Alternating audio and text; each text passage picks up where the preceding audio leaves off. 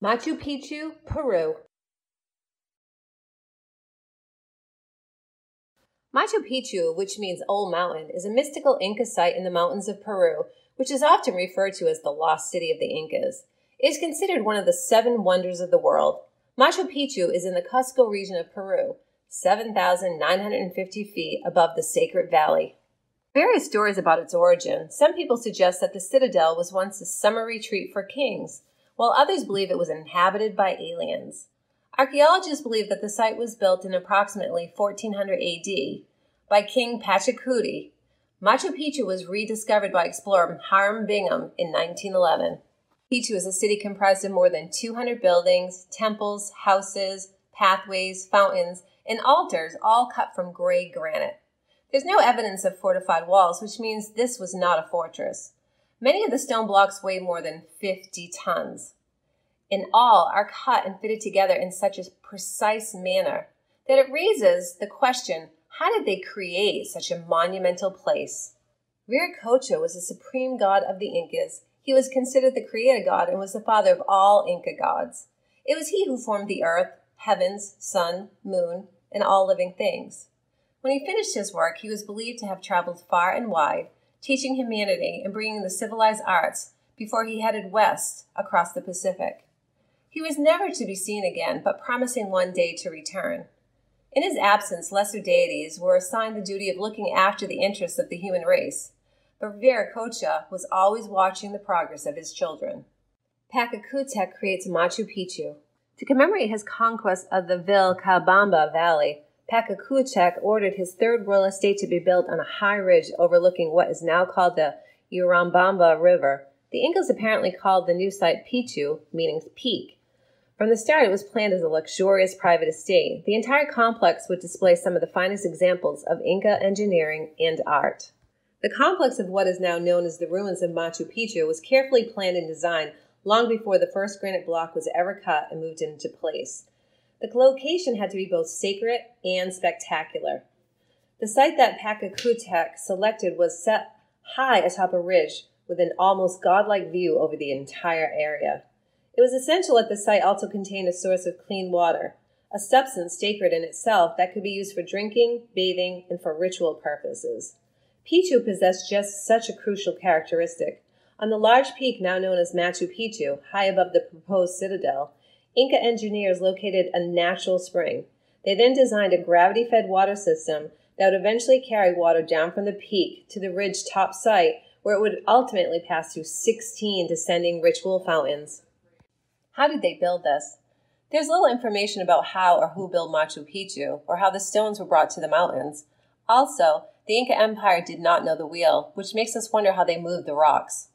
The construction has no cement. The stones were cut in polygonal form. The precision of its forms is so exact that some engineers think they were molded by the use of heat, but that does not make sense because that kind of technology was not available.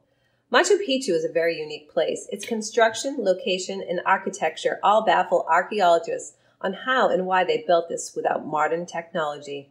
Only a few people have permission to enter to this magical and beautiful sanctuary to perform the rituals and ceremonials related to their gods and their principal festivities.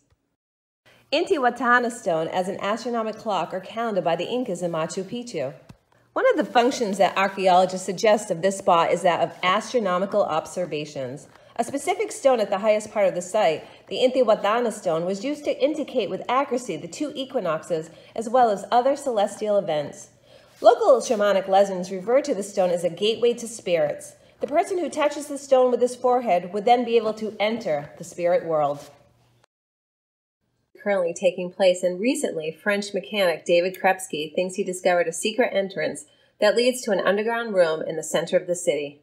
Just named Theory Dominant team not only confirmed what David suspected, but with help of instruments verified that many rooms exist below the city and behind the seal entrance, as well as gold and other precious metals. Before Pachacutec became king, he went once to visit his father, Viracocha. He reached his spring and saw a crystal tablet fall into it. The tablet showed a figure of an Indian. He was dressed with the headdress of the Incas. Three shining rays like the sun sprang from the top of his head. Snakes were coiled around his arms at the shoulder joints. Pachacutec was so afraid he ran, but he heard a voice say, Come here, my child, have no fear. I am your father, the sun. I know you will honor me and remember me. After seeing this, the vision disappeared. Pachacutec took the tablet and kept it. After this, it served him as a mirror in which he could see anything he wanted. Later, he had a statue made of the sun, which was none other than the image he had seen in the crystal tablet. He later built a temple of the sun called Coricancha. Legend of the Pururauca soldiers or stone soldiers is an Incan legend that mystifies the victory of the Incan army over the Chanka army in 1438. The Andean legend speaks of a massive battle where the Incas saw themselves outnumbered against a terrifying enemy, but invoked their greatest deity asking for help. The god Viracocha responded to their call by turning rocks into soldiers, helping the Inca defend their city, causing the enemy to retreat in fear. Machu Picchu and why? How did they manage to move and place such enormous blocks? And most importantly, why was it abandoned? Was this stone city a summer retreat for royalty?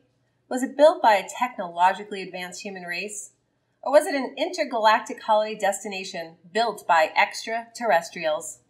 There's plenty of room for speculation, but when you're standing at the top of Machu Picchu, it's difficult to differentiate between fact and fiction. Make up your own mind. What do you think? Was Machu Picchu built by aliens? Please comment below and let us know your thoughts. Please subscribe to my YouTube page for more fun videos.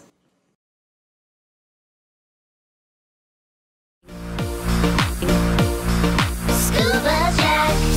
Come on, everybody, and follow me. From the beach to the cove, we're in the sea. It's time for learning, it's time for fun. It's a great adventure for everyone. Come on, everybody, and follow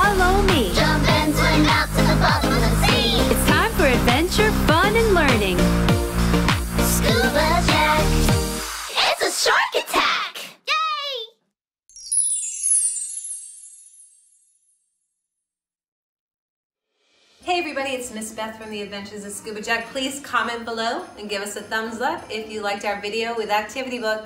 See you soon.